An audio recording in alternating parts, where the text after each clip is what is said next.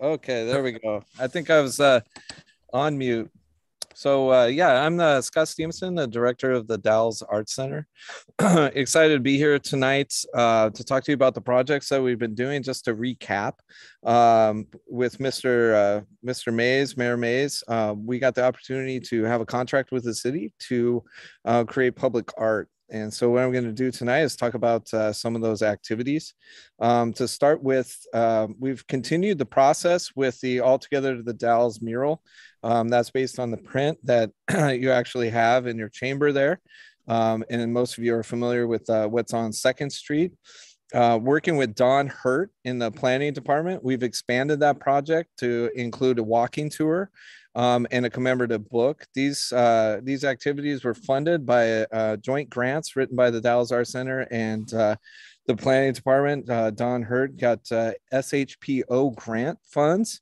Uh, so what we've come up with for that is a walking tour. Um, I'm going to show you right now, um, basically the signage, and then um, I'll show you the actual app. So what what happens? You already have a historic landmark um, buildings in town. Uh, some of you are familiar. There's a shield on those. Uh, most of these buildings were in the mural, as well as there was uh, secondary lists that were created. And uh, so each of the buildings will actually have one of these placards. Uh, a resident or a visitor to the Dalles would be able to take their phone, come to one of these plaques that would be uh, visible on, on the building, put their phone up, and then download an app. So basically, what we've created is an entire walking tour for uh, people of the Dalles um, to learn about the city, to learn about uh, the projects that, that we have put together, uh, the buildings particularly, and if I, I, I might at the end, if we have time, just uh, show you the app so you can see that, um, see how it functions. Uh, but it's really a, a fantastic app. Um, what I'll do is I'll show you the book. Uh, we're quite excited about this book. Um, and basically what, uh, what we've been able to create uh, is a, is a really wonderful, um, let me see if I can get this up here. Oh yeah, here we go. Is that right? No, sorry, little little technical difficulty here. Here we go. Okay, so uh, what we did was uh, we worked with a local designer and we created a book that commemorates all of the um, buildings. Um, so uh, this is a commemorative book. It will act as a fundraiser uh, for the uh, Art Center. Um, but basically, it's an overview of the projects, the different partnerships that were created out of this.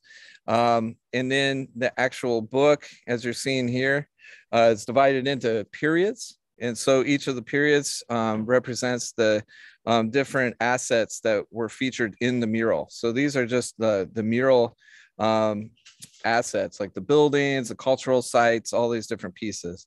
So we just finished this um, book. It's going to be coming out in April. Um, so we're quite excited about that. And again, that was uh, brought together with the funds uh, procured by Dawn and then also with the Arts Center.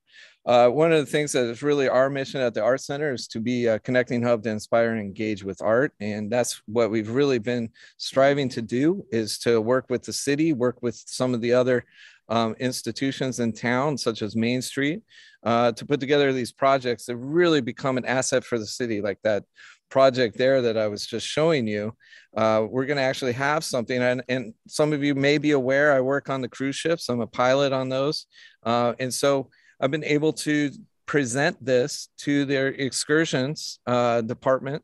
And so now we have something that we're offering people to come off of the boat right? So they can come off the boat, they can walk around town.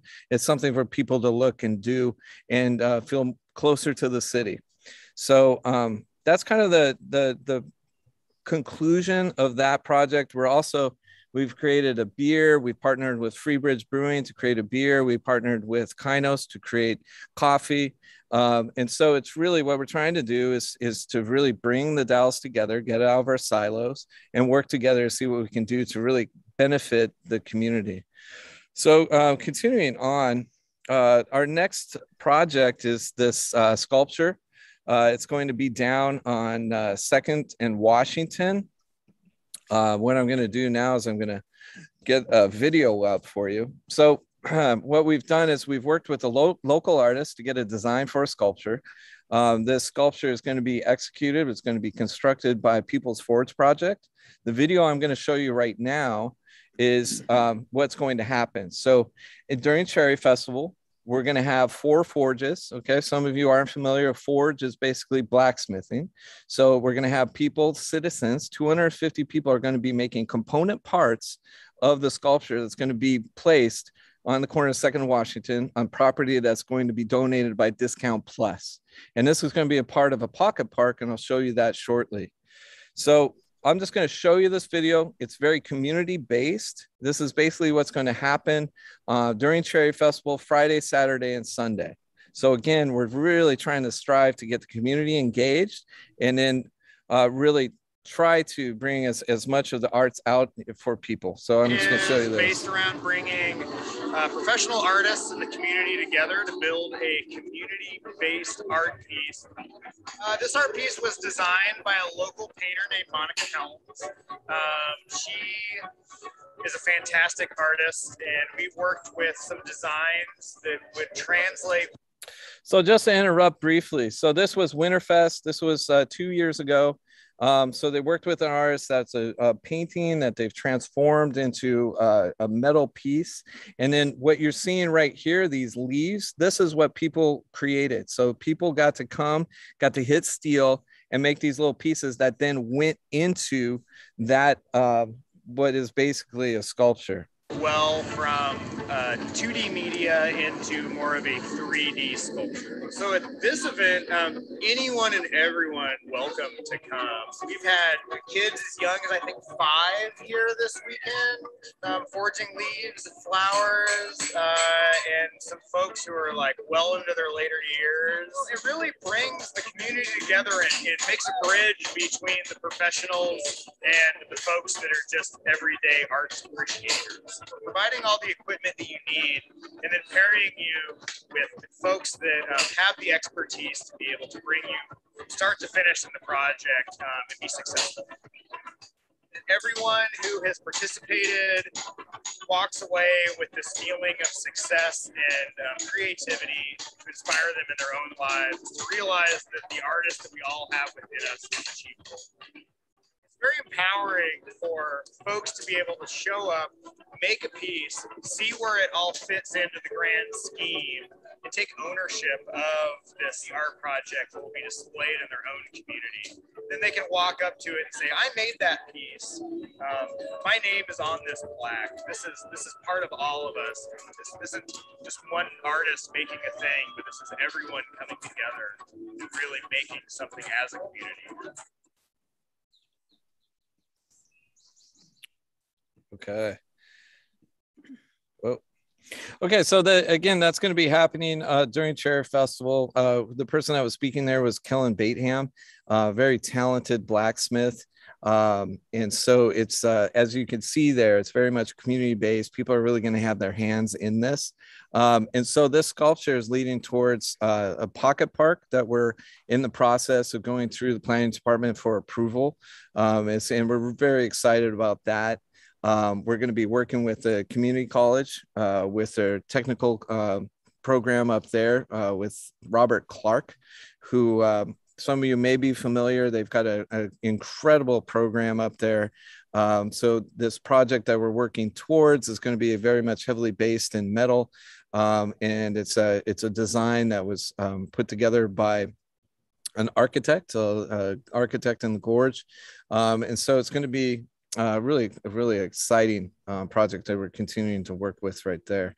Um, one thing, uh, one other thing is that we're continuing to work in, in other aspects. Um, so with Main Street, uh, one of the things that um, for me, having that experience of working on the cruise ships, when you come to the Dalles and you dock at that dock there, which by the way is a magnificent dock, um, the Dalles really did themselves a favor when you constructed that. That's one of the best docks that we go to. When you get off of the boat or when you're looking across the boat, you're looking at the freeway, right? It's not the best presentation. Um, and so I've, I've been meeting with the beautification committee uh, that Mayor Mays has put together, and then also with uh, the Dalles Main Street. And what we're looking to do is uh, see what we can create with the embankment there to do some uh, landscaping. The beautification committee has already worked with ODOT. Um, so what we're really trying to do is make the city as presentable as possible and then draw people in. Uh, one thing that uh, we're looking to do is to actually create a manned kiosk. So I'm just going to show you right now um, what I what we're thinking about, what we're what we're wanting to uh, put together. Um, again, sorry, I'm just I need to find this file. Oops, is this it? Okay. Oh, there it is. Okay. Escape. Okay. So right here, this is what we're looking to do. So um, what we would have here is a kiosk. We'd put some graphics on it. We'd be able to uh, have that manned. Uh, we have opportunities with the community college. They have a program uh, with Matt Fitzpatrick that uh, you you get college students that are looking for job experience. We have we've had three at the dalles art center. Chamber has had one. Another business in town has had one. So what would happen is we'd have this man during the hours in which visitors are coming to the dalles. Uh, we would have information about what people could see when they come into town. Uh, and then we could also have items for sale right? Coffee whatever local products that you want to have. Um, and so what we're really trying to do is to, is to bridge that gap, be, bring people in, and again, try to uh, uh, be this kind of connecting hub. So um, I think we're gonna we're gonna be pursuing some grant opportunities that will fund this, um, and I think it was just going to be a, a, real asset to the city as we move forward. So um, one last thing I want to share with you is the actual walking tour app. Um, and I'm going to uh, I'm going to ask Izetta to see if she could just let me in with my phone, and I'll disconnect with uh, this right here, and then um, I'll, I'll, be able to just kind of walk you through the app. Um, and and it, I think it's going to be really uh, an opportunity to really kind of for you to see uh, the the real opportunity here with this app. Okay, disconnecting.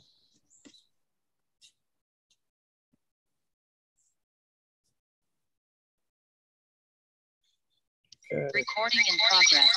Oh.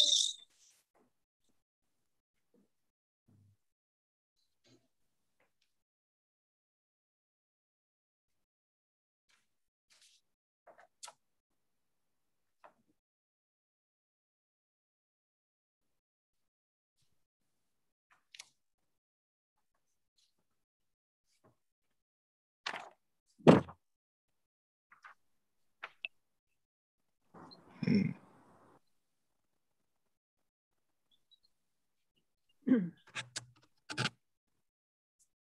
All right. Sorry. There we go. Okay. Is everyone able to see this? We see the uh, middle middle of the mural. Okay. Are you seeing this app that I opened up? No. No. Okay. Scott, you can bring that back to a future meeting if you're if you like. Um, uh, okay, here we go. Okay. Oh boy. Okay. Are you seeing it now?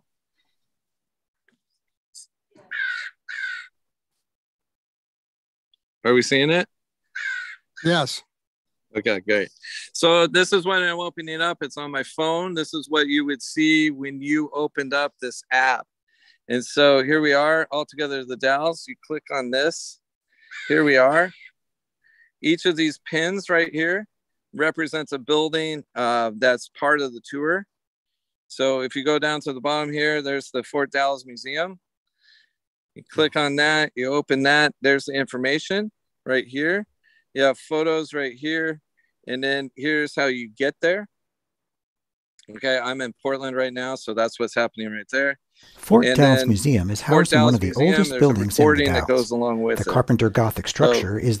There's a lot of opportunities within this. I think it's going to be really a great tool for the city um, as as we kind of progress through uh, our maturation and, and what's starting to develop within uh, within our community. So we're continuing to develop this further. We're working with the Mural Society, the Wall Dogs, to add their murals um, that are going to be part of that, and then working with any other community members. Um, funding for this was again brought to you by SHPO, and then also there's uh, further support um, that that's future coming. So, anyway, those are those are kind of the projects that we've been working on, and and uh, appreciate your time and and uh, happy to answer any questions. Thank you, Scott. Anybody have any questions for Scott? Good work. Councilor Runyon just said good work. Oh, I thank agree. you. I love it. and Councilor Long. Okay, Scott, right. thanks very much. Yeah, thanks for your time. Yeah, okay. looking forward to it. Look look for the coffee, the beer, the book, the walking tour. Come hit some steel. You'll enjoy it. It's good for you. Okay, thank you very much. All right, cheers. Okay, item 5B on the agenda is uh, Scott Baker with the Northern Wasco County Parks and Recreation uh, District, and he will give us an update on Sorosis Park. Thank you so much for having me and providing me an opportunity to update you because we have a lot of exciting things going on up at Sorosis Park. Um, you know, after the devastation of losing over 780 ponderosa pines to the pine bark beetle, um, we ground the stumps, made it, uh, had to get some water down to keep the dust down and then really try to take this as an opportunity to reimagine what Sorosis could be for all the members of our community. We engaged a firm to do public outreach and to develop a um, conceptual plan based on what we heard. And we did that a couple different ways. We did stakeholder interviews with people who care about the park and have um, ties to the park either through, through their groups, um, like the softball association, the pickleball club, the disc golfers, and then just general users.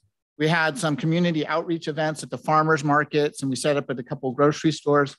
And then we also did an online survey. And all of these outreach we did um, both in English and Spanish. And we really made an uh, effort to reach out to our Spanish speaking members of our community and go to them rather than having them ha- uh, have to come to the farmers market us. We went out um, to like a Michoacan Market and um, some uh, Spanish speaking groups at the high school to really get their input as well on what we wanted to see um, and what would make Sorosis inviting for all the residents. And, you know, Sorosis draws from Goldendale to Maupin. People come and enjoy Sorosis. It's really a regional park. And so after uh, that kind of robust public outreach, we took everything that we heard, we distilled it down, and that's what's kind of created the plan that's in front of you. And it's an ambitious plan and it's going to be done in phases. But I'm so uh, pleased to be able to share that for our first phase, which overwhelmingly everybody said we want trees replanted and we want a working irrigation system because even before the trees came out, the irrigation system there was in sad shape. Although we had been chipping away at it slowly over the last couple of years, it was a huge project. Um, and that was everybody said, just make the park green, edge to edge, get, let the grass grow, plant the trees, um, so that future generations will have a park that look like what it once did, because Sorosis today is not the same park it was a few years ago. And so, but but what's exciting is, is that that first phase, we're going to spend, we're set to spend a million dollars at Sorosis Park this summer.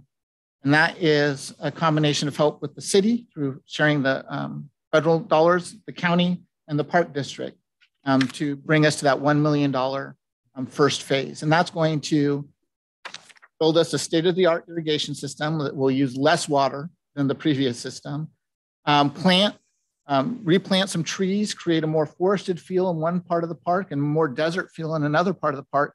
So as you walk around Sorosis, you're almost walking around the state where you have in the northwest corner kind of more wet, wetter areas and kind of more representative of the plants that would grow in the north and coastal ranges. And then as you walk around the park, it will be more representative of grows on the eastern side of the state. And um, so we're kind of concentrating our water use in, in one sort of densely shaded areas. Of course, the trail will be expanded. We're going to, we're striving to make it a full mile. Right now it's 0.8 miles, and it would be nice to have it undulate a little bit more and be just a solid mile.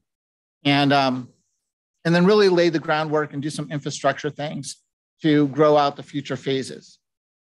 That said, we just didn't want to make people wait for those future things that the park desperately needs, which is a new playground, sports courts, gazebos, areas for large events. Those were all at the top of the list that people wanted to see in the park. And we're going to go after grant funding for those. And right now, I'm actually working on a grant application that's due the first through the local government grant program that will fund the gazebo and a covered sport court that would include basketball and some pickleball courts. Um, and that's a $660,000 project. Community members have already stepped up and donated $165,000 towards that project as match. So I think that just speaks to how much the community loves Sorosis Park and is excited about the future of the park. So that's where we're at. We've got um, the topographic map and the irrigation is under design right now. It will go out to bid uh, mid-April. We're hoping to have all of this work done by the fall. Meanwhile, on a separate track, we've got uh, grant applications going in to fund those big ticket items, the gazebo, the pickleball court. We're working with a private developer to talk about um, redoing Treetop Park. That's also going on another track. And so um, here in a couple years, I mean, I think we're going to have a really beautiful park. It's going to take a long time for those trees to grow. We're not buying baby trees. We're buying, you know, six, eight foot tall, two, two and a half inch caliber trees that will transplant well and really take off. Um, all of this is available on our website, the plan that you see in front of you, as well as the background document, the concept plan. It's 94 pages long, a lot for your packet, but it is available on the web on our website, and it talks. It kind of details that community outreach details um, some of these uh, big ticket items in more detail and how we came about them. And um, it also includes cost estimating, was a big part of this project, which allows us to phase it so we know what things are going to cost. Um, I had a couple bound copies that I shared uh, with council. Um, again, uh, the, the city has a few copies of that and we can get them more. Again, it is on our website and it's really easy to look at it um, digitally. And so um, for any of the audience members uh, participating via Zoom, our website is uh, www.nwprd.org. And I can direct you there. Um, it also gives you an opportunity, if you're so moved, to donate to this project right there on our website. And it is tax deductible. So I want to leave plenty of room for questions. Any questions for Mr. Baker? I have one. Uh, Scott, maybe I saw that in here before, but um, I seem like I read something about tying into the 14th Street Reservoir. Is that still something that, or am I mistaken? There's currently a path that goes up from Washington Street up the hill, and you can get to Sorosis Park that way. Um, but the 14th Street Reservoir is a project that's in our master plan, so maybe that's how they're tied. But this this master plan that's in front of you now is site specific to just Sorosis. That's that's the future. We got a lot of irons in the fire. Thanks. Any, any other questions? I have a, uh, the $165,000 grant or uh, match. Yes. Um, what was that match for exactly? Was so it was it was um, earmarked specifically for the gazebo. Right, that's what I thought. And so that would be get us pretty close to just purchasing the doing that gazebo project outright. But we want to get the most bang for our buck. So I want to use that money as a match for a local government grant program and build that basketball court um, with the uh, state funds. We can do that. Great. We get you know two for one. That uh, basketball court will also be covered and could be um, event space. You know, so if you had something that outgrew the gazebo, wanted to spill over into the covered area of the basketball court, it's close by. Um, and so one of the things that people do at Sorosis commonly is have weddings. So this will make it a really nice spot to have a wedding. You can even uh, do your reception in the picnic area. So give people a nice low cost way to um, get hitched. The gazebo, as you call it, is that the same as item K, the pavilion? Yes. Yeah. Yes. Okay. It's an octagonal, 40 foot diameter hmm. um, raised gazebo with a little uh, bump out for uh, that could serve as a band stage area. So and we can have live music and square dances and things like that in it. Okay. And if you needed more space, you could spill out into the grassy area. And that's actually the first area that we uh, rejuvenated after the trees came out. Wanted to give people, as they drove into the park, a little bit hope. of what the park will look like. And so it's ringed with hawthorns. We put some bark chips down and we redid the grass in that right behind the fountain, which this week has been started running because we got the water on. And so the fountain's going right now. And the funding, uh, city and county, uh, is the counties all uh, definite and, and secured and everything? Yeah, we don't have the uh, final agreement signed like we do with the city, but um, they uh, they approved it um, in their um, commissioner meeting, mm-hmm. and so now it's just for staff to work out the details and um, get an agreement on paper. And I've been working with uh, the administration over there, and things are going smoothly. Great, Mr. Council Richardson. Thank you, Mr. Mayor. Thank you, Scott. This is really exciting. Uh, it's been a little heartbreaking to see the uh, the fall and of our of our park in some ways. So this is sort of the rising again, I guess. Uh, I know that many in the community have high hopes for that. Just a couple of quick little questions, mostly just for curiosity's sake, based on your plan here. What are the shelters? I noticed there are a number uh, a number of little shelters around the park. Yeah, and so we have the large lion shelter that is rented out all summer long, and it's super popular place for people to just want to have a small gatherings, kid birthday parties. With the loss of the trees, um, you know, we need shade, and it's going to take those trees time to grow. So we're going to provide shade by having small, you know, 12 foot by 12 foot shelters, most of them first come, first serve, a few of them reservable. And so it just provide a place out of the sun where you can sit under on a picnic table and have a birthday party, talk with your friends. Nice. Thank you. And I see here is something called the camp host site. Yes. Tell me about that. Yeah. And so this was, um, you know, so security is was one of the issues that came up. People were at night not feeling the park was being well taken care of. We also um, had a concern, um, not a concern so much, it's just that we anticipated as the dorm that the CGCC fills out, that Sorosis kind of becomes the backyard for that dormitory. And so we talked with the college about having a shared security office um, with housing on site, and so that they could do um, both security for the community college and the park at the same time. Hmm. So it would be a desire to have, um, you know, what that looks like. We've talked about just a pad where, you know, a nice retired couple could park their fifth wheel in exchange for some camp host duties, but it would be similar setup to whether it's a stick built or, or travel trailer, what you have in most state parks that you go to, where there's a camp host that, you know, provides some security, a presence at the park. Um, I don't think they'll be selling firewood and ice, but, you know, maybe. Thank you. And w- one last one, if I may, um, a bit of a tangent and but that's all right. I know you can handle it. Uh, I, obviously, this is a priority project, but could we maybe have a conversation or an update sometime uh, over the summer on where you are with the Mill Creek Trail? Oh, absolutely. Yeah. Great. Thank you. Probably like to have, get an update on this too. Yes. Yeah. And we, we have some other, we got lots of exciting news. Council Runyon. Um, having been up there recently and whatnot, and um, granddaughter in the playground stage, a couple of them. The uh, the uh, playground area, which was built by citizens with donations many years ago, is in need of some refurbishing and updating and whatnot. Is that part of this project, or will that be done as a separate issue? Uh, that will be a, a separate phase. I'm thinking, you know, you can think about like 1.2 or 2.1 uh, we haven't named them yet, but um, we had the manufacturer of that playground come out and do an inspection. Okay. it has about two or three years of life left. What you don't see is those wooden piers underground deteriorate over time. And Hood River had a Leathers and Associates playground come out. It was put in about the same time as Treetop. Um, these aging structures, folks just aren't making them out of wood anymore. What we hope to do is to um, create a plan to replace that structure uh, repurpose the wood, um, take those turrets and the dragon slide and all of those things and make kind of like a fairy shelter um, tucked up maybe into the oak trees or something that would be kind of a, like a fun playhouse type thing. Um, or take the, all of those routed out woods that have all the names of the families on them and use them as siding on one of the shelters that are nearby. But we want to be able to keep that history as part of the park and repurpose some of that wood. Um, personally, I think it would be a great project for that new building trades program they have over at CGCC.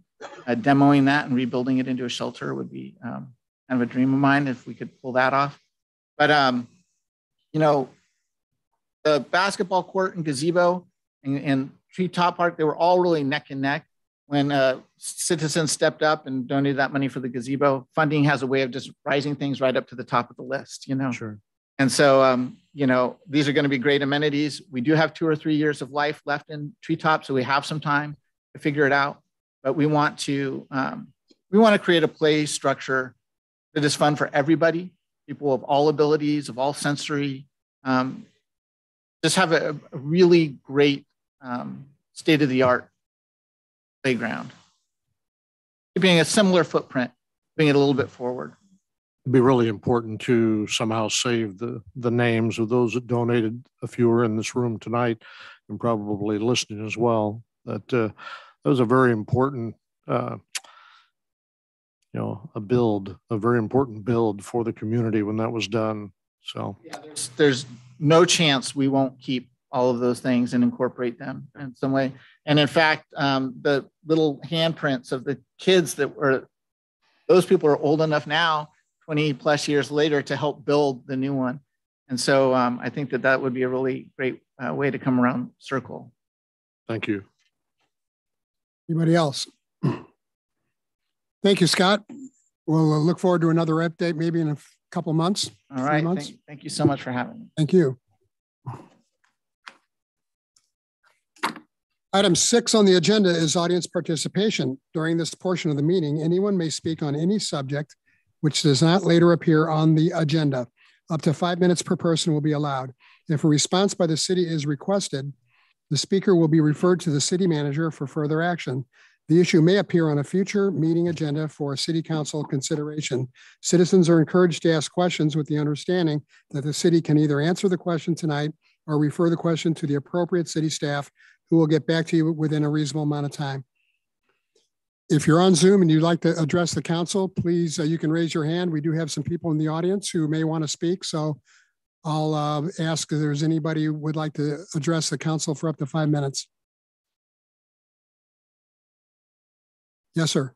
Where do you want them to sit? You want them at this table? This one? Do you want them at this table? Okay. Yeah, come on, uh, take a seat here. Uh, please give us your name and address for the record.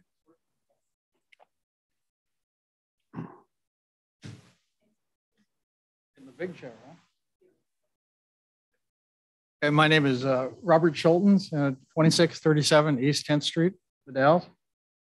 And uh, where uh, my my questions are on the um, um, center that you're trying to put behind the dealership, and uh, just uh, questions as to you know why we were not contacted ahead of time as to property owners uh, out there. I realize that uh, you changed some rules, and uh, in the process, you're you only had to put it in the paper, which has a 3,000, um, uh, you know, readership, if if it's a total readership, okay, out of 16,000. Uh, that to me uh, looks a little devious, okay. Um, and then to bring a, a project of a major project that you're talking about doing and not asking for community input. Uh, community input's coming now after you've changed some rules. And I just uh, have a little problem with that. And uh, I, uh, I, I, just want some information.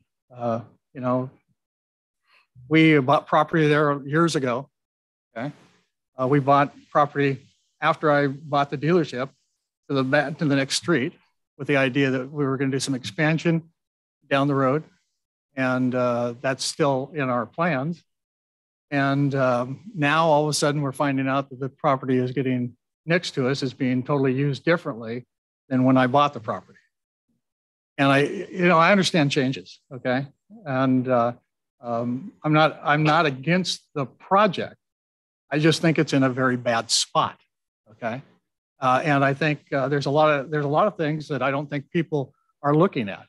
Um, you know, we've had some meetings with uh, MCED, And uh, when we've talked to them, uh, you know, they've told us things that didn't pop up in, in the plan. You know, I mean, you guys are telling us it's for a shelter. It's supposed to be shelter housing. Okay. Well, we're finding out there's quite a few buildings that are being built there that people aren't going to be living in exactly. Uh, we're also finding out that there's some plans possibly down the road for low income housing. Uh, and I don't, I guess what I'm concerned about is you have a lot of people making decisions. I don't think you're getting all the, all the information. Or if you are, then you're keeping it to yourself, I guess. Um, so I have some questions about that type of thing. Um, you know, the other thing I'm worried about, we've asked questions about uh, how are we going to police this area? Uh, I hate to tell you this, but you know, birds of a feather do flock together. Okay, and we've seen that in the past. We, in the last two years, we've had 52 uh, break-ins to our to our property. Uh, people's cars. Maybe some of you have been, you know, that have had, had your cars hit. I don't know, but the thing is, we've turned this into the police. Uh, we've only had one that we've uh, followed up on as a police department. So uh, we asked people at uh, earlier meeting how we should go about this. I think, Julie, I think my daughter talked to you, and it sounded like you were saying, well, pretty much uh, we're going to keep on doing what we're doing. You didn't say that? Okay.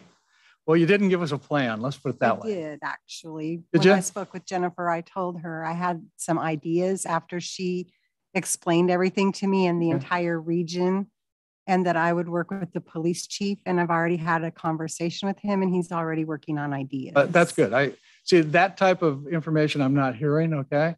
And, uh, you know, we've had, we've had break-ins and we're not the only person out there that has break-ins. Right, Okay. was- I mean, coastals had break-ins, had their fences cut. Uh, and this has all increased in the last two years. And it's, it's through a, a mobile group of, of people that are moving through there. Okay.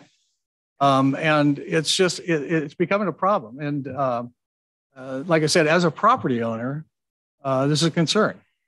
Uh, and I think it should, you know, and I, the other thing is, you know, we are just listening to this uh, gentleman talk to us a minute ago, and he says, "Hey, we need to do some landscaping on where the uh, ships are coming in, right? Uh, to make it look better." Okay. Well, to me, okay, West Six is the busiest street in the Dalles. And when you come out to West Six, okay, we have three motels out there, and we've got two, three car, three car, uh, car dealerships there that have people coming in, having cars work on all the time, uh, and they're from all over. I mean, most of our citizens, to be honest, are people that we have buy cars, come from outside the area. Okay, so it's you know this is how they look at the Dalles. Uh, we're in the process right now of hiring a, uh, a manager, and uh, that was his comment.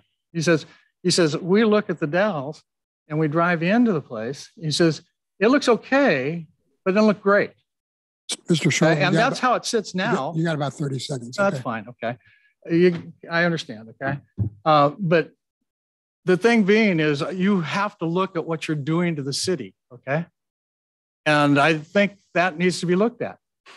So, and uh, I appreciate, uh, Mr. Mayor, the opportunity to talk. Okay. And I understand that I don't have so much time. So thank, Thank you, you. very much for listening and we'll go from there. Thank you very much. Uh, is there anyone else who'd like to? Yes, ma'am. Sir, go ahead. Please give us your name and address. Uh, my name is Shelly Onslinger, um, and 2627 East 10th Street. And I also would like to just, I have some questions also about the navigation center and, um, and I'm opposed to the location change. And so some of my questions are, um, try to get it in five minutes. First one is uh, why, I don't understand why we're moving it, first of all, um, because I've read articles in the paper that it's very successful where it is, um, that you haven't had any problems with it. And then based upon the site plan, they're not increasing the pallet, the homes. So I don't understand why we need to move it.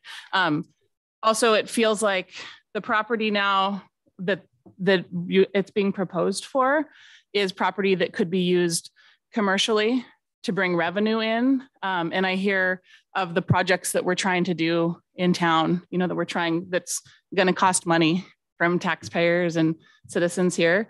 So it doesn't really make sense to me why we would then move something from where it's working right now to a place that it's going to cost money to develop and that is then not going to be able to bring in any revenue for us.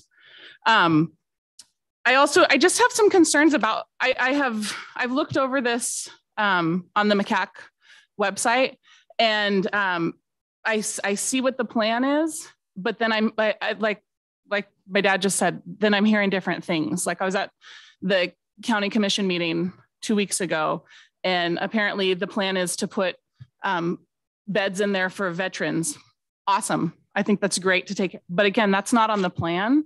Um, so I, I have a hard time earmarking money when when I, it doesn't seem like the full plan is out there for us.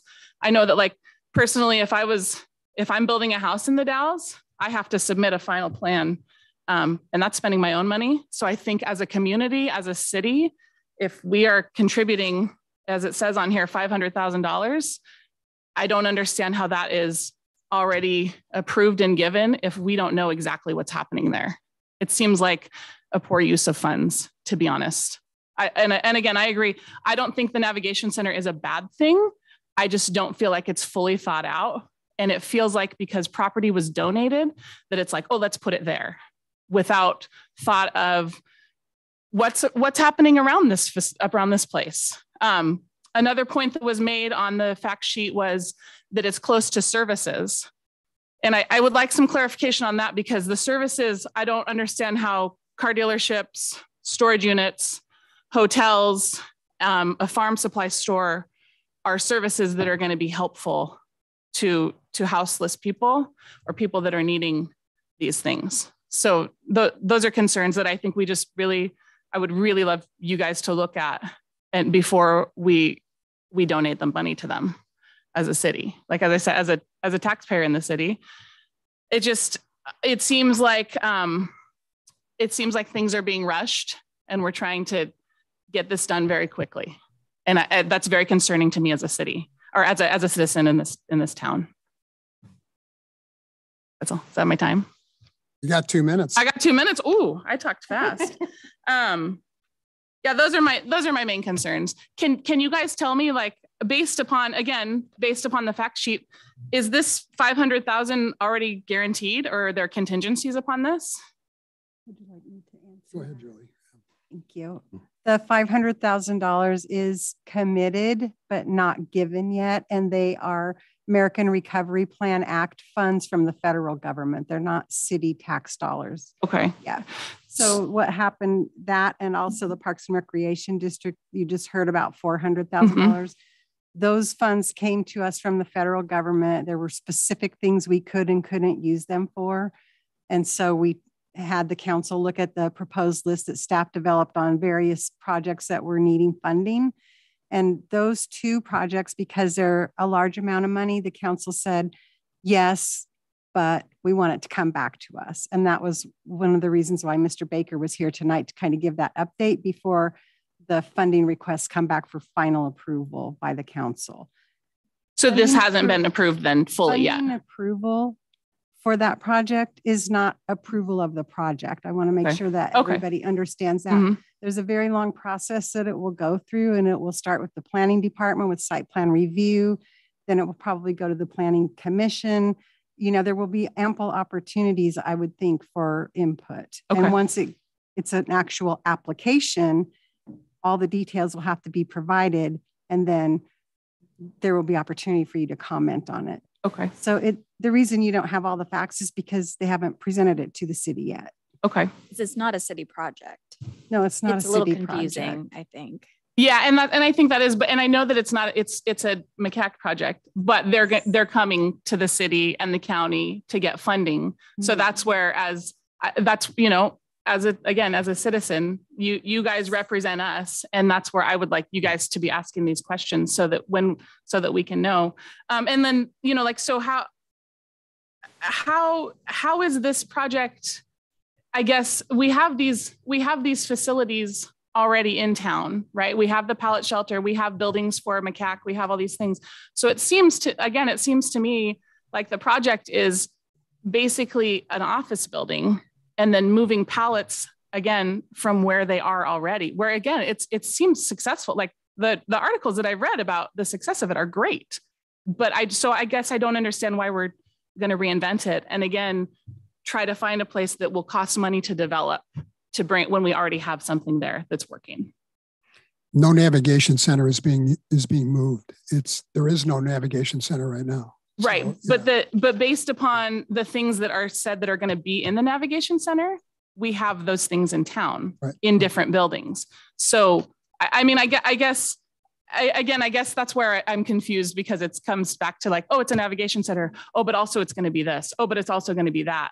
And so again, it's it's hard to to get behind being really supportive of it and wanting to really encourage spending funds from the city and the county when we don't know exactly what the plan is because it feels like there needs to be a very specific plan for it to go on. Have you uh, talked to Mr. Lapointe? You know, you know, I have not had a chance to you talk really to him. Um, I think he could answer a lot of your questions a lot better than we can. And also, we have a planning staff that will uh, be processing the the application. That's so. excellent. And and then I had I had for the planning um the planning staff too. I is that does so do we get to see that as community members as it's going through the process? Or is that, or do we not?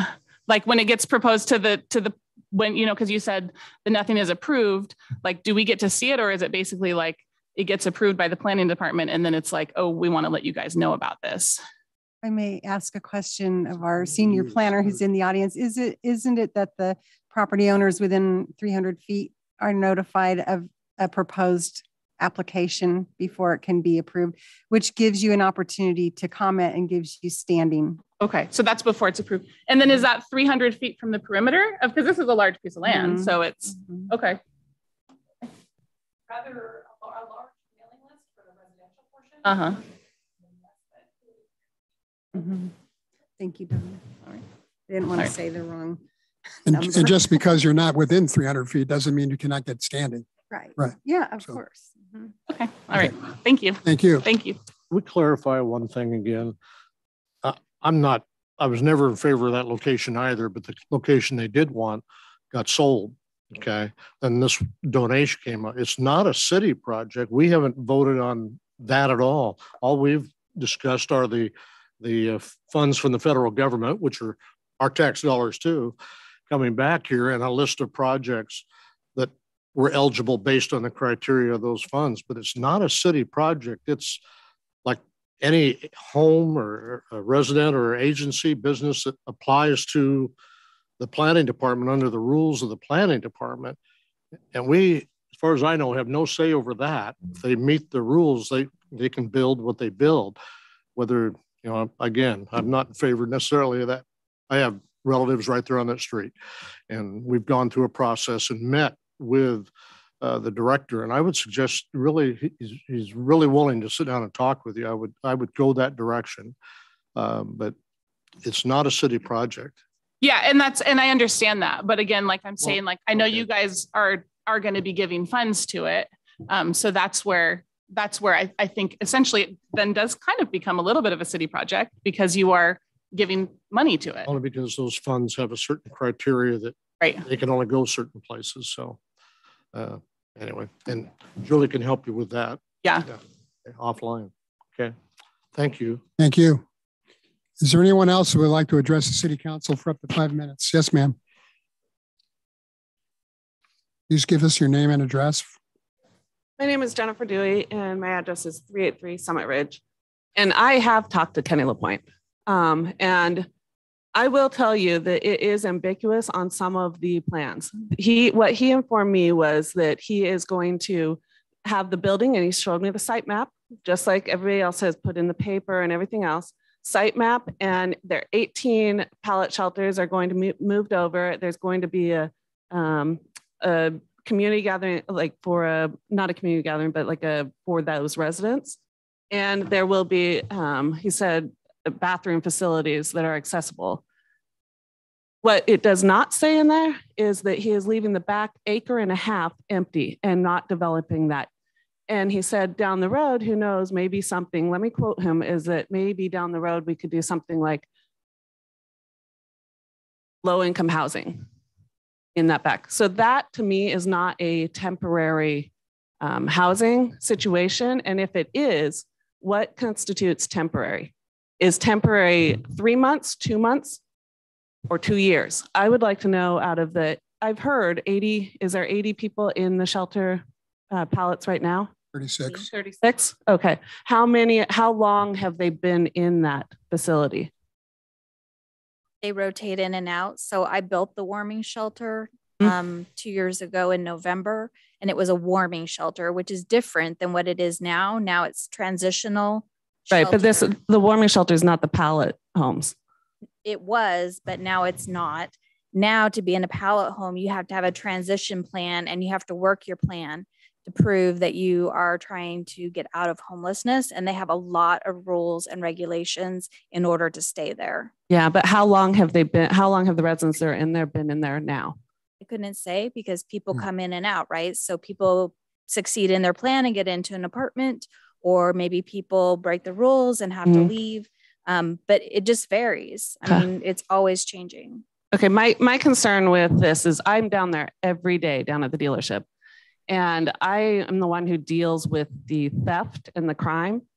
And I was shocked to know that we had called them out 52 times. I asked for a police report for the last two years of how many times we've called the police. And that's just my location. So if I'm doing 52 times, I guarantee you everybody around me is way more than what we're doing because we did not start until recently calling on things. And so I I mean some things we just let slide and go and take care of it and move on but I do not feel like so now I'm having to invest in extra security cameras and security. I had to hire a security person for the tune of $5,000 for two weeks. So, and I still had a catalytic converter stolen at that time. So these are the problems that need to be addressed. And I did talk to Julie, and uh, uh my dad, he was a little bit confused, but Julie did, I did talk to her. She called me back and, and was surprised to hear of all the problems we've been having in there which to me that was surprising that she hadn't heard of all those problems and she but she did say she would get with tom and they would work some they would get their heads together and come up with some ideas and that's the last time i'd heard about it i would like to invite you all um, there is a group of because you know the last council meeting that i was on rich you had told me that um, we need to come down i need to come down and uh, talk to julie about that at a more appropriate time to go over the theft and vandalism which I honestly thought that this was the appropriate time because I had council members here, everybody here. So what um, there is a group of business members that are going to be meeting on Thursday, the 31st. And I would invite you to come down. And the whole purpose of it is to put our heads together on the problems that we're having so that we can work with city council to come up with a game plan to resolve and kind of attack some of those problems and I think it's it's more of an informational, and so we can come up with some kind of solution. So I would invite you guys to all come down. It will be on the 31st at the old Griffith building at five o'clock, or I think 5:30. Um, I'm sorry, uh, across from True Value. Yeah. So yeah, Ace. Sorry. but um, I, I I am I'm opposed to having the navigation center back there. I deal with a lot, there's a lot of thoroughfare. And I, am going to tell you, I didn't realize until the other day when somebody else was complaining about it what it was. But I've watched things from people pooping, literally pulling their pants down and pooping on the property and keep going. I had car, I've had to have cars removed from parking out there and just camping out there and throwing garbage out there. I've had them go into our dumpsters. And the reason I know that there's a fence, it's all blocked off. There is a fence and they're pulling it out of the dumpster, sleeping on it. And then keep, and I don't know what else there is, but I know it's ours because there's packing slips on there. And so it's got our our information on there um, to where it was addressed to us, and it's cardboard boxes that they're doing. So this is a problem that if there's an acre and a half, when I talked to Kenny Lapointe, his answer to the security was there'll be somebody on there all the time. There'll be a staff member 24 hours a day, and he has an office in the back corner. Well, then in the next breath, it was an acre and a half that's going to be vacant in there, and there's a fence. How is he going to see any of that? There's no way with an acre and a half and a fence. So I this is a problem, and I don't think it's thought out from the existing people that are around there. And I think that I I am a, I'm discouraged in the fact that it was not brought that the rules were changed so that they could be in there. and it was not brought up to the public. And there was a planning meeting where they presented it. And I, I got online and then I was mm. told it was not a public planning meeting. You have about And- 30 seconds. And so I was not allowed, I didn't get any information on that. Mm. So to me, that makes me think that there's going to be things that come, and that was a month ago. So it should be known by now, but that seems like it- it was stuff that happened in the background that I don't know about. And I think the community should be aware of all of this. Mr. Schulten has used the word devious, and you're implying much the same. I personally resent that. There was nothing devious about what was going on. The planning department has acted above board. Well, okay, but I have, when I talk to you, when I talk to you, That was Rich, the word you used. Rich, when I talk to you, If you're gonna do a major project. That's already been explained, sir. Contact the property. S- Sir, you're out of order, and that's already been explained. And I'm not going to sit here and take being called devious and not let it go unanswered. You also made the accusation at a county board meeting that you never, had- nobody was allowed to speak at the last meeting, and that's not true either. If So- start the conversation that we will not talk about the navigation center. Hmm. And then opened it up to the other people, they got positive. Your daughter- leave it open. Your daughter spoke as well. Everybody that wanted to speak spoke. You were Yeah. trying not to do it, okay? That is, that is totally not true. That is absolutely No. true. It's in the minutes. Sir, I've had enough of this, and I'd ask you to be quiet now. You're out of order, and everything you're saying is not true anyway. Okay, so go. Rich, I don't want to listen to. I'll, oh, I'll see you after the meeting if you want to talk further. Okay?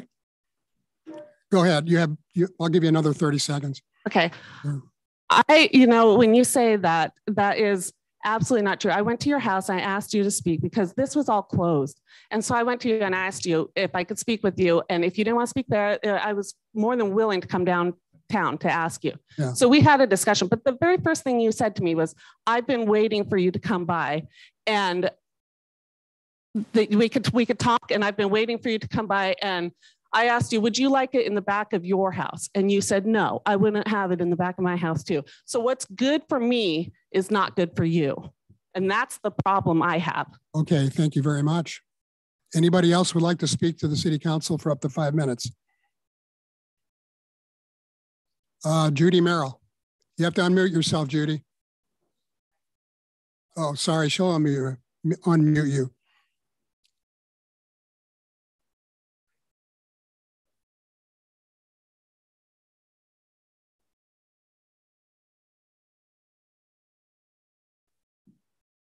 It's the red thing still on. Okay, now, now unmute yourself, Judy. Ryan, there. There you go. Yay. Thank you so much. Um, Mr. Mayor and City Council members, uh, my name is Judy Merrill, and I live at 400 West 11th Street in the Dalles. I would personally like to take a moment to thank the city's very dedicated. Turn that up a bit. Oh. Go ahead, Judy. He was asking if, if he could uh, turn up the volume, if you have that. If not, please proceed.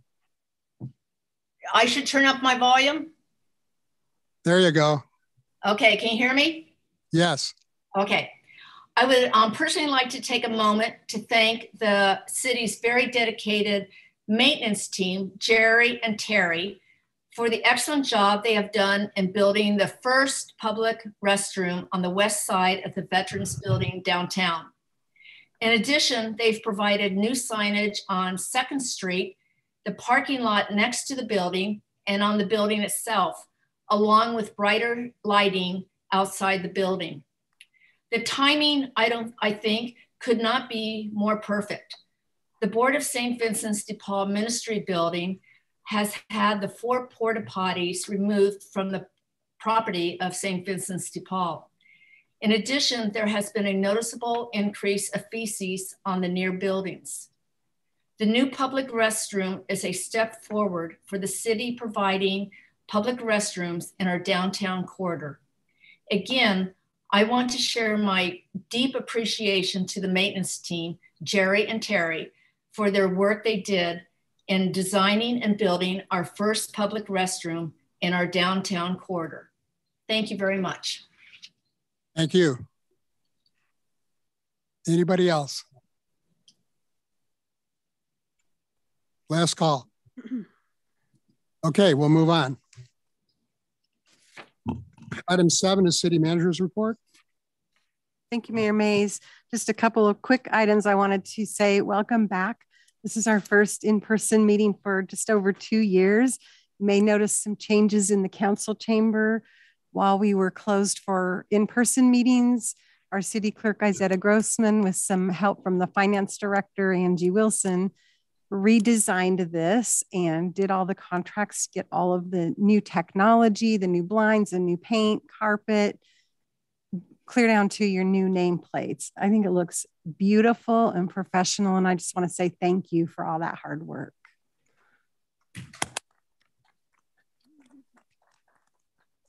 And secondly, uh, Public Works Director Dave Anderson let me know today that the contract is out to bid for the Dog River replacement and the bid opening will be May 5th. So we're moving right along on that project as well.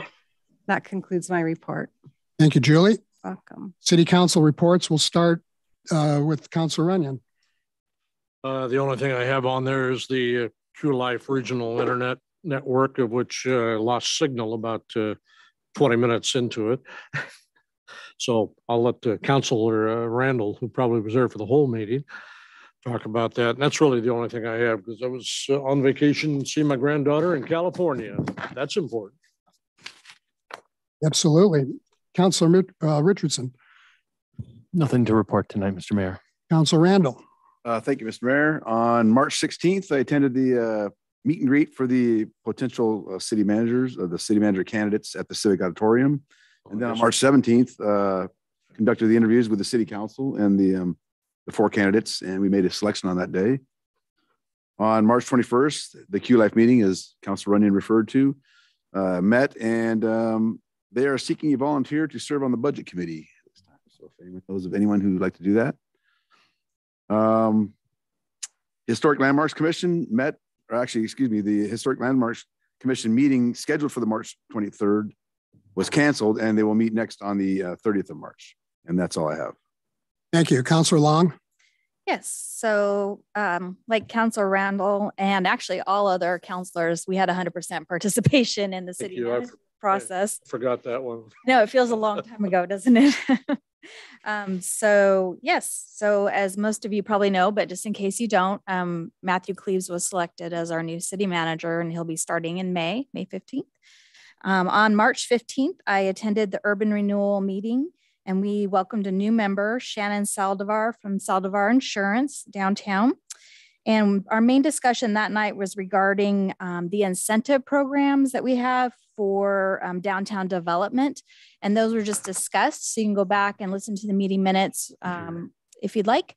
And we'll be voting on those at our next meeting. So if you have any feedback, be sure to get it to, um, to the board, uh, to the agency before that meeting. And our next meeting is actually going to be April 19th. And then traffic safety, um, two of the key takeaways for me, and there were a lot of things discussed, but um, we really need to slow traffic down up on Columbia View Heights, um, basically from Auction Yard Hill going up the hill toward the um, Veterans Home.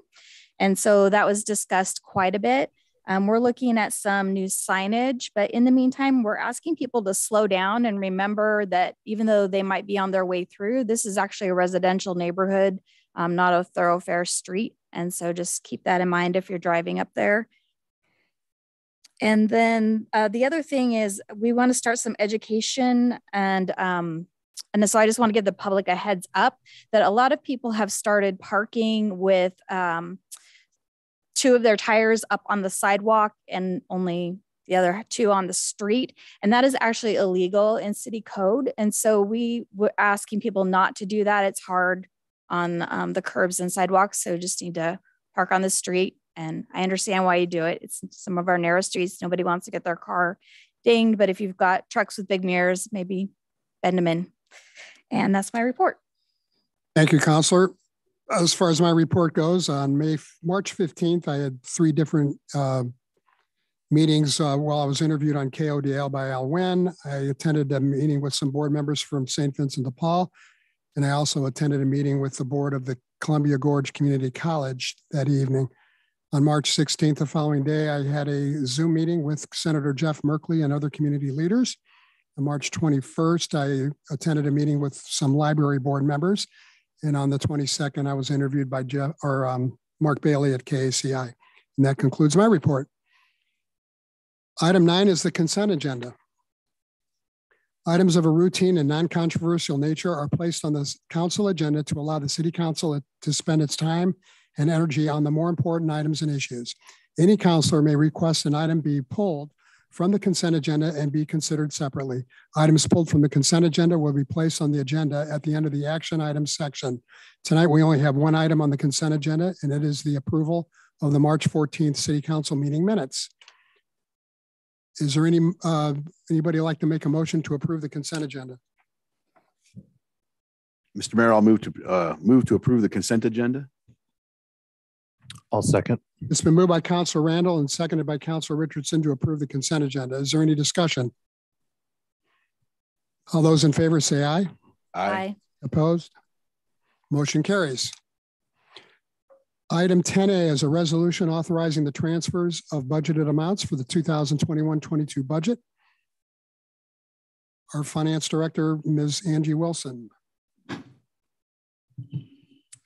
Good evening, Honorable Mayor, members of Council. Um, you have before you my um, agenda staff report 22-009. Um, this is authorizing transfers of budget amounts between categories of the various funds of the City of the Dalles adopted budget and making appropriations and authorizing expenditures for the fiscal year of 2022. Um, this evening, I just want to remind you that this is a, um, a budget adjustment. This is not a supplemental budget. So the budget amendments move already budgeted funds between categories of the same fund without adding to the fund's total budget. Um, resolution 22 009 transfers $111,500 from the contingency line item of the general fund to cover the following items. 90,000 is needed um, to compensate the police department. Um, due to several police officers resigning, the police department is significantly understaffed and is requesting an additional 80,000 in the overtime budget for of the personnel services. And then 10,000 is needed for the clothing line item to uh, be able to provide uniforms for the new officers that are onboarding. 2000 is needed for the animal control department as the animal control officer is retiring. And so we are um, looking at hiring a new animal control officer that will need a new uniform also. And 19,500 is needed um, for the city manager department um, with the retirement of the city manager the um, new city manager coming in, additional funds may be needed in the city manager department. And resolution number 2209 transfers 24,000 from the airport contingency into the airport fund. And that is um, due to um, property taxes that were inadvertently left out of the budget at the beginning of the year. I do want to just remind you that um, in our budget and any budget resolutions, if any money is not needed, that money flows to the ending fund balance, which is, is moved up to the beginning fund balance at the beginning of the year. And so it's always our goal to not use all of our um, budgeted line items to full if we don't need those. And so those do flow over to the beginning fund balance for the next year. May I ask, beginning fund balance for the city, not the department? For, for the general fund. The general fund. Thank you. Specifically what we're talking about this evening. Thank you. Does anybody else have any other questions? Any questions for Ms. Wilson?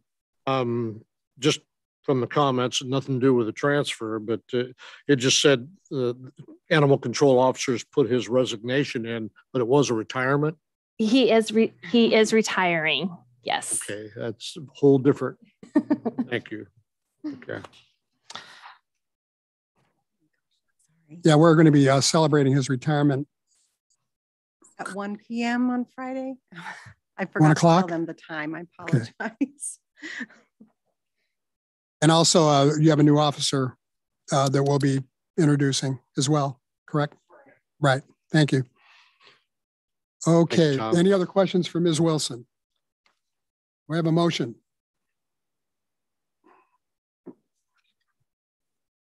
I can do it. Uh, Councillor Long? I move to adopt resolution number twenty-two 9 authorizing transfers of budgeted amounts between categories of various funds of the city of the Dalles budget, making appropriations and authorizing expenditures for fiscal year ending June thirtieth, twenty twenty-two. I'll second that. The move by Counselor Long and Counselor Richardson to approve the authorized transfers of budgeted amounts. Is there any more discussion? All those in favor, please say aye. Aye. Aye. Aye. Opposed? Motion carries. Thank you very much. Thank you. Item 11A is a discussion item. It's a discussion item regarding the draft stream corridor overlay code amendments. We have with us tonight, Hello. we formally introduced Dawn Hert. A moment. You need just a second or maybe a minute. It's her laptop.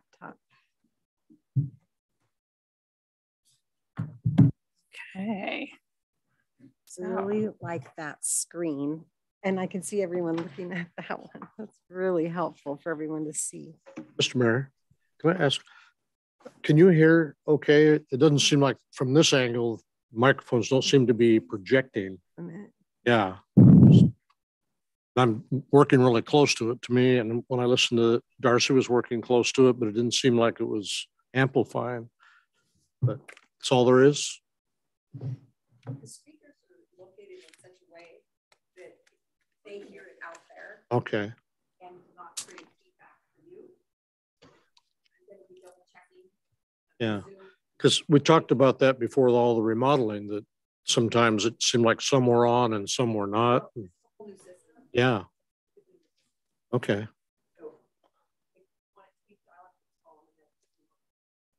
Okay. Thank you.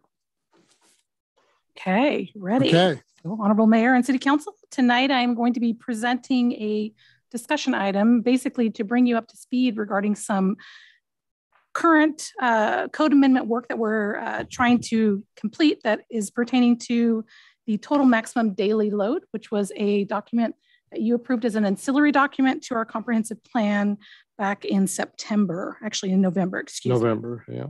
So I do, I have a slideshow to make it a little bit easier. We'll see if I can get this to go.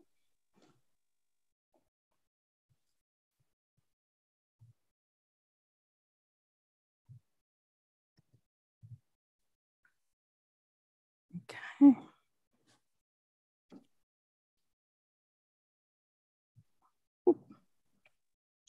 My goodness, sorry guys. Excuse me.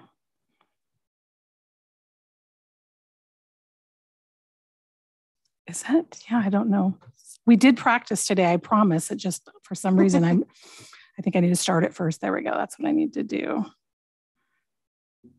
Apologies, technical difficulties. There we go. Start from beginning.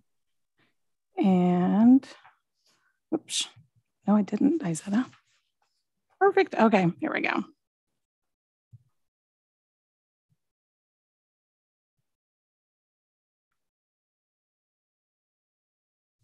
Okay, apologies. All right. So as I mentioned, this is for the total maximum daily limits or daily load is also what it's called, text amendment amendments. So as I mentioned in the staff report, September 16th, the Planning Commission recommended for adoption of this new implementation plan. And in November, the City Council approved that plan. The adopted implementation plan includes existing management strategies that deal with education, um, of riparian, elevation of roads located along perennial streams, as well as restoration, river shading and or channel conditions. Uh, finally, the consideration of riparian protection ordinances, which is what we're going to be talking about today, and low impact building practices. Oh my goodness. No mouse. This is, there we go. Sorry. Oh, there we go. Okay, so municipal code implements regulates our stream corridor overlays. So those are located next to all three of our streams that are located in our urban growth boundary, which includes Chenoweth Creek, Mill Creek, and Three Mile Creek. The SC overlay zone complies with our safe harbor provisions that are uh, implemented by the Oregon administrative rules. And applies, as I stated, to all of our UGB and includes our corridors extending upland 50 feet from tops of banks. So each one of our streams that it goes 50 feet back. Uh, all new development needs to be located outside of this SC overlay and the 50 foot setback is required for new development. There's, there's two ways that we have in our existing code that can allow for a reduction, which includes a stream corridor setback modification and then a hardship adjustment. So what we're looking to do is to propose these two exceptions to our municipal code by reducing these potential setbacks that are actually allowed in those areas. Just kind of give you a point of reference, Chenoweth Creek, so the blue line that you're seeing, that is approximately the stream corridor that runs down Chenoweth Creek. I just recently was working with Tycho of Wasco County GIS, and he has updated this layer for us. So we will have a new updated layer, which was also part of our plan with DEQ. Uh, Mill Creek Stream Corridor gives you kind of an idea. Goes all the way out um, to our UGB and then drops into the Columbia River. And then the Three Mile Creek, which also extends just up uh, 197 uh, and our UGB and drops down to the Lone Pine, as what's known as the Lone Pine development.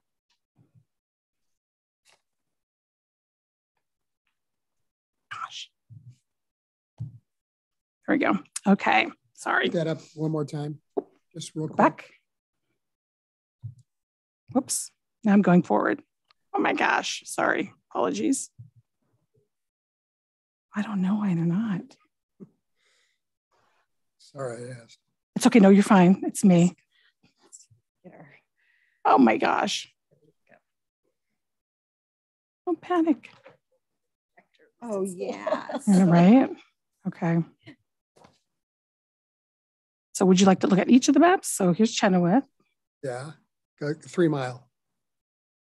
And three mile. Okay. Oh, and, and some some of these you'll see it appears that the creek is going through. A lot of that is un, underground, so we're not seeing that, and that sometimes is a little bit um, deceiving in terms of you know wait, there's not a creek there, but um, it actually does exist at, at some time of the year and is functioning. Thank you. You bet see if I do it this time. There we go. Okay. So what I provided here was a copy of Article 10.5, our stream corridor overlay boundaries, just to kind of give you what, what our looks of our modifications would be. Um, uh, in this, I do have, you know, we'd be removing in two ways uh, and just basically state that, however, this map setback will be modified we don't plan to do any modifications to the stream corridor delineation process because that is actually the determination process and not the um, reduction or modification process. So no changes to the first part.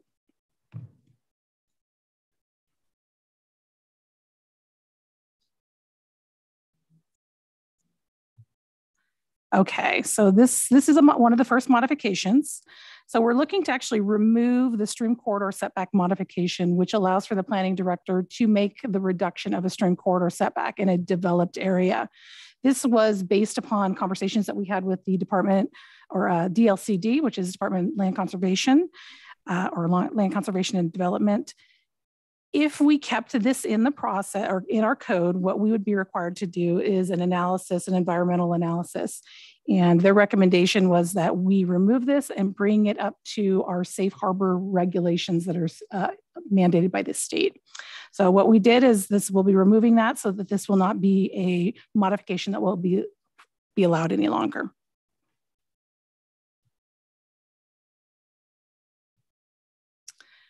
The next proposed update would be number two. Uh, this again is the modification and what our uh, TMDL report stated is that we'd be reducing this hardship adjustment of 67%, um, which currently is allowed at 33.5 feet, reducing that down to 40%, which would only allow for 20 feet of 20 feet into that development. And again, these are modifications that have to follow certain um, requirements in order to, to get that approval. And this is the, uh, the, the last amendment that we're looking to do. So we're looking to amend the section which allows for 3,000 square feet of impervious surface area within the 50 foot stream. We actually are looking to reduce that down to 500 square feet of hard surface area within that 50 foot setback. Okay, the, the next steps we have is uh, in March, which is this month, we're just finishing. Um, I have submitted the formal land use application and zoning ordinance amendment. We've started the process. Notice has been sent to the Department of Land Conservation and Development, as well as Wasco County. I did receive a comment from Planning Director Kelly Howsley, Howsley Glover and uh, she's going to be working with me. Had a couple questions regarding the environmental impact statement or study, um, which we are not required to provide. Uh, she said that she will comment when we get to the public hearing process. In April, we will be sending out notifications of our legislative public hearings before the Planning Commission and City Council. Those will be published in our local newspaper, again with legislative hearings. We do not have to notify property owners because it's dealing with a code regulation rather than a land use decision on an individual parcel. April 12th, we are planning to have the first public hearing, which will be before the Planning Commission. Uh, if we do get through that meeting, the recommendation will then be delivered to City Council, and we're anticipating that to be May 9th for the City Council public hearing. And do you have any questions of staff? Any questions for Dawn? Councilor Richardson? Just one, thank you. Good evening, Dawn you mentioned this uh, update or change complies with the safe harbor provision in Oregon statute. What is that? What's the safe harbor provision? So safe harbors. What what the safe harbors are intended to do is in terms of uh, providing. Uh, the streams and corridors to actually have for like fish bearing streams to ensure that we're not going in terms of temperature in terms of ensuring that development isn't going to be or encroaching into those streams that are fish bearing. Just it's a kind of a safety net, a safe harbors. So basically, it's ensuring that we are doing everything that we can to ensure that those streams will continue to thrive and be fish bearing streams. Any other questions? So um, just one.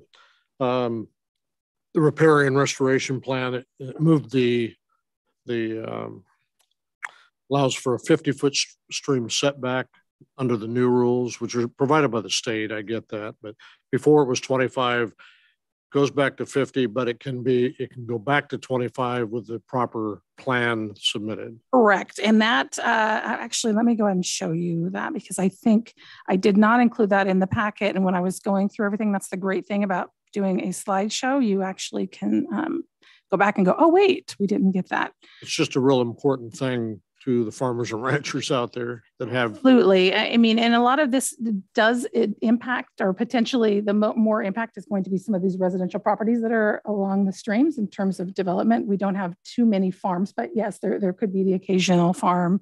Uh, when we removed the section uh, regarding the applicant. So 2B, applicant submits a stream corridor restoration plan. So what we did in our code before it referred back to a section that we're completely removing. So I then added this in here and that does include stream restoration plan prepared by a wetland scientist. So there's all of these certain regulations.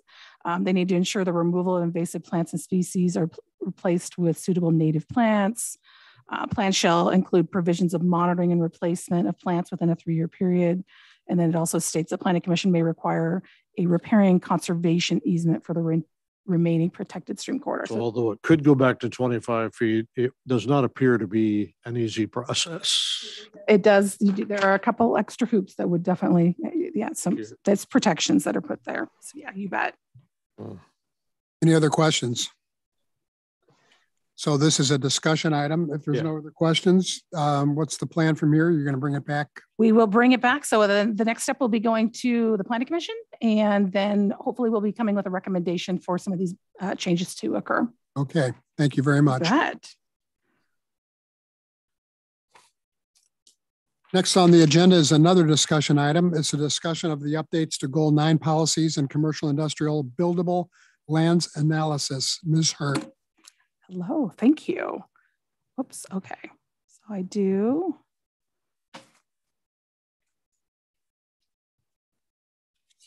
It just said, okay. So thank you, Honorable Mayor and City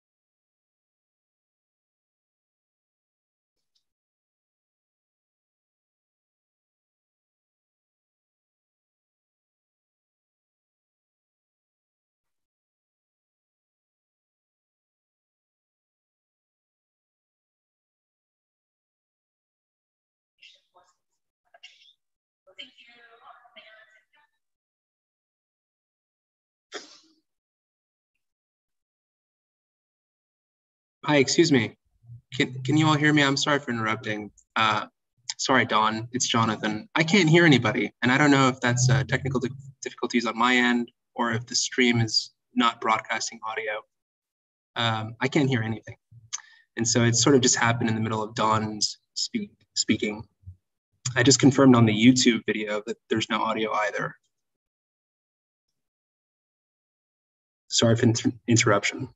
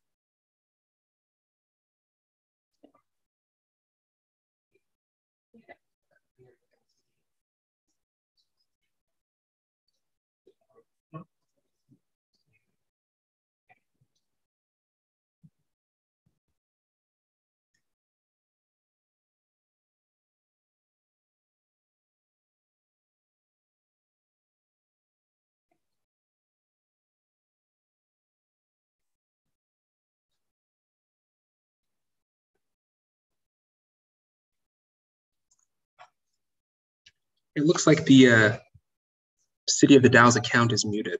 Um, the main one that shows all the counselors.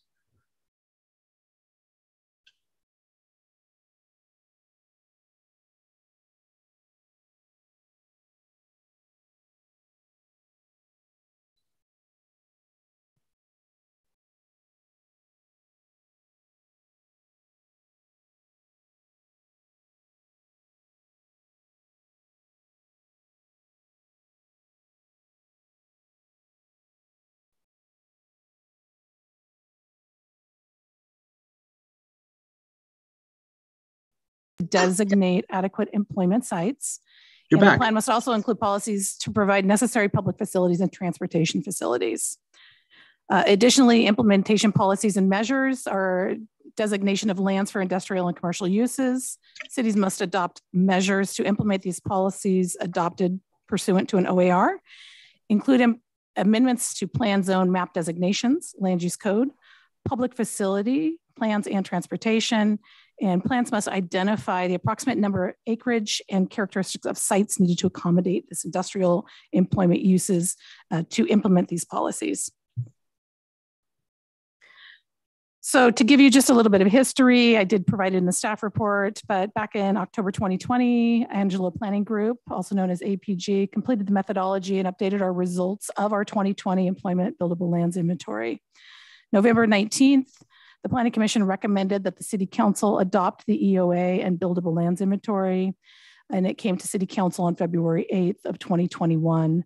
City Council discussion on options and staff's ability to complete uh, those amendments. And then in April 12th of 21, City Council unanimously agreed that the Planning Commission's recommendation, which was to adopt these and bring these back at a later date. I believe Councilor Runyon was one of the ones that had suggested that. So we are here.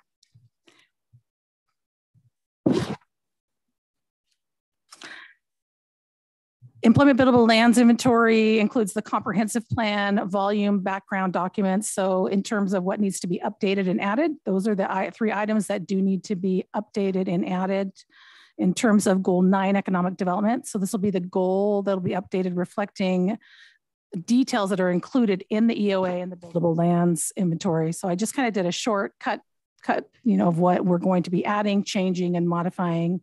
Um, these will be coming to you when we bring it before for a hearing with strike through, and so that's easy for you to see. I just kind of tried to make it a little easier today. I do have a little bit more, so. Uh, in talking with Angelo Planning Group, Matt Hastie will probably be helping present when it comes to the public hearing portions. So um, he had suggested that I really focus today on our goal nine policies and look at what we're updating and adding so that the council is able to see what, what we've actually done and what the work um, that has been completed will be uh, generating. So I, I, did provide the strike through as well as, or the underline and highlight. Um, and if you want me to, I can go through some of those, or if you want me just to kind of screen through, we, I can give you guys uh, or the council the pages that these are located on if you want to follow through, if anybody had any specific comments or. Here's a question I always ask. If you were me, which one of those would you like to have discussed a little more? Oh, ooh. Well, I, I, I think what I would is going to really go to the last few pages in your packet that show the economic development action plan. And we have the original plans that were created by, uh, oh my gosh, I just drew a blank, uh, Johnson Economics and then Angelo Planning Group. We had a couple study sessions and you know discussions with the community. The last page is what Angelo Planning had brought and what community conversations had had brought to the table. So with that, that's where I would I would jump in, which a lot of those comments would um, I guess one of the big ones is going to be support growth of businesses that create destinations and experiences for residents of the Dalles and visitors. And we had a little bit of example of that earlier with Scott uh, Stevenson giving his report. Um, they also, you know, number four that's on here, actively supporting redevelopment uh, efforts for underutilized commercial and industrial areas in our urban growth boundary. Um, that's available on our website or another website. Where can the public it's take a look at in the packet. So we do have these all in the packet, uh, and I think we. I'm not. I'm, do we have that? Did we put that on our page also with our when we adopted? I'm not sure. I can verify that. If not, so they go to the city council packet on the on the city website, and it's all there. They are all there. Yes. Okay. So I don't know if uh, the new website is going to be amazing when it, when it's up and running. Oh, really nice. So we will we'll make sure that that's a feature that we we add that in. Um, goal nine uh, additional policies that we have here. Um, one, one of the ones that they did, and you'll see some of these notes that are, you know, throughout like number 10 and number 20, um, encourage the continued development of Columbia Medical Center. So there were some keywords that were just added in. A lot of those were from the public outreach meetings. Number 20, plan for and implement appealing lands or streetscapes that encourage personal interaction, accommodate public gatherings. So just some keywords that were thrown in there to just add a little bit more um, girth to, to the goals. Uh, so we do have quite a few here in 22 to 27. Uh, this is these some of these are really dealing with uh, some of the feedback that we received in, in terms of pursuing development of higher employment densities in areas planned or existing facility utilities and transportation infrastructure, um, this is one that's come up, I think, since the day I walked into uh, my job here at the city. Establish streamlined permitting processes that allows for business expansions and modifications without undergoing the same level, same level of review as new development. So it's kind of allowing a little bit of a, um, a benefit to those that are existing uh, ensuring the Dalles has services and amenities necessary to attract workers and provide the services they need, such as medical services, childcare, educational training opportunities. That was one that I think we heard also pretty loud and clear at the visioning uh, exercise that we just had. I think, I think we all heard that in our breakout groups and and this is one i think that this is it's always a little bit painful but um, it's something as a community learning to deal with infill is learning to support and encourage infill and redevelopment especially in commercial areas um, as a way of for to use land and infrastructure more efficiently i think many cities uh, struggle with with with that uh, the last one here of uh, uh, continued development. Oh, wait, is that the same one? Maybe not. It is, isn't it? I did go back. Oh my gosh. There we go. Uh, so in addition to the goal, the new goal nines that we have, or the modified goal nine, uh, we have implementation measures that are added. And so all of these, as you can see, are new, expand existing industry base, uh, and again, collaborating with MCED and other stakeholders to coordinate activities, encouraging organizations to bring barrier, or to determine barriers to address the city and foster collaboration. Um, a lot of these keywords, collaboration and working together, very, I think it's very important and it's pretty prominent across the state in terms of planning departments trying to encourage, um, you know, all these local agencies to work together for a common good.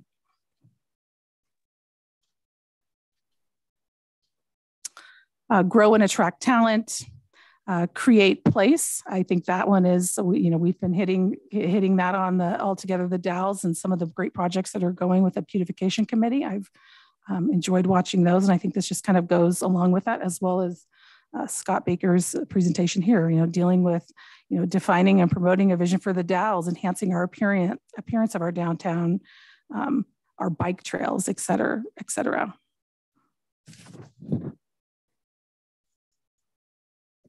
Oh dear. Lost my mouse. Oops, there we go.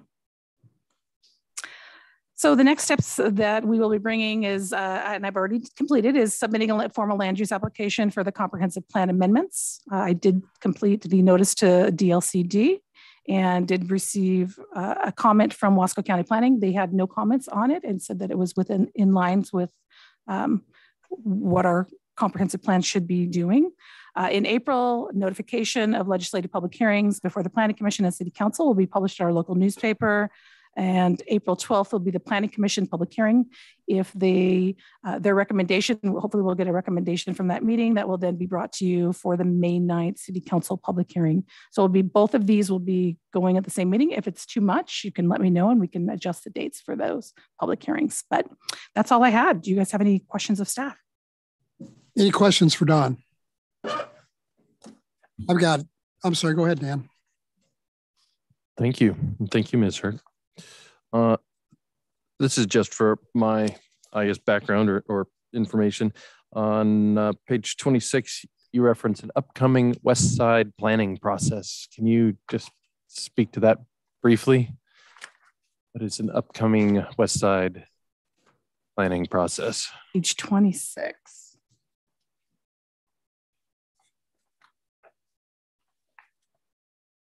That's not It's, on. yeah. sorry, it's 26th of the packet. It's Oh, page one of the uh, final draft Mm. uh, in uh, memorandum. Oh, oh, oh, oh, okay. Exhibit A. Apologies. There we go. Um, memo from Okay. APG.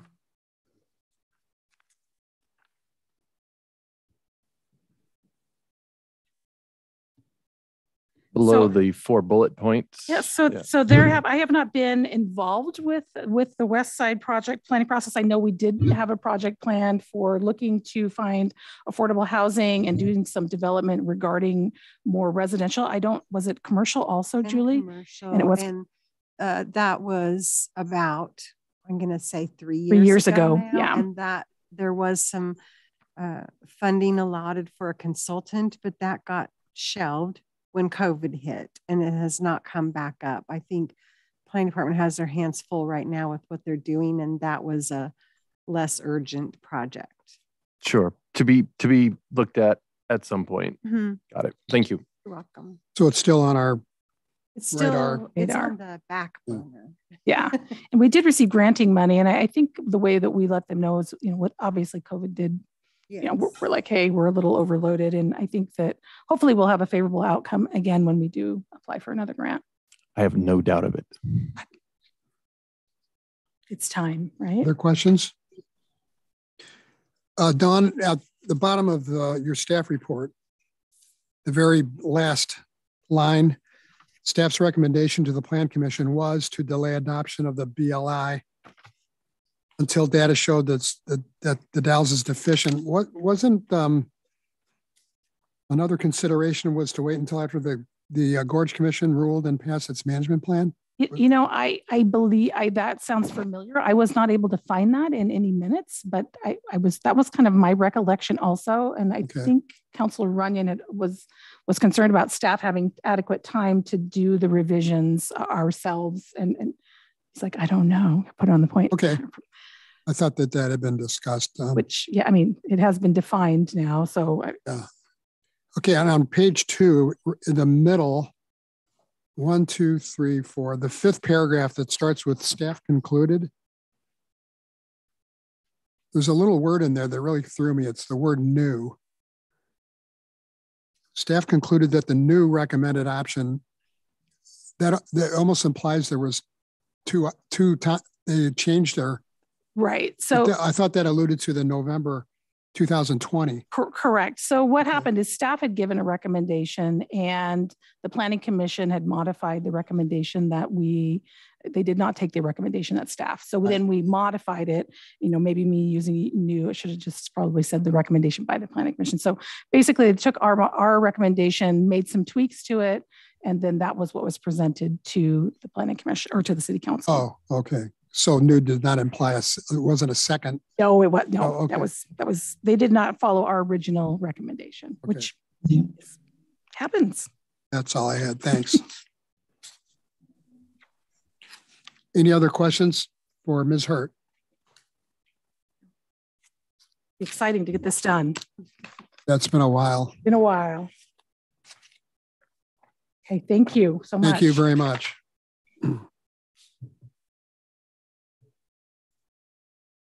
Oh, did, did I, just to clarify, were you or is the commission okay with keeping both of those public hearings for the meeting, for one meeting, or do you think that might? I think our city clerk will look at all the other things that are placeholdered on that meeting and she's very good at adjusting accordingly. So she can work with you, Dawn. Perfect.